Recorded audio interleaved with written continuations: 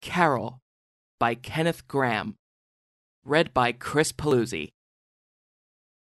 Villagers all, this frosty tide, let your doors swing open wide.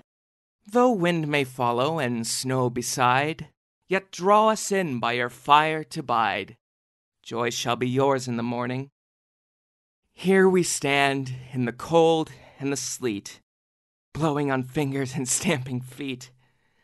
Come from far away, you to greet, you by the fire and we in the street, bidding you joy in the morning. For ere one half of the night was gone, sudden a star has led us on, raining bliss and benison, bliss tomorrow and more anon, joy for every morning.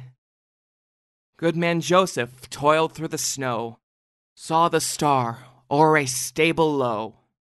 Mary, she might not further go, welcome thatch and litter below. Joy was hers in the morning. And then they heard the angels tell who were the first to cry Noel. Animals all, as it befell, in the stable where they did dwell. Joy shall be theirs in the morning.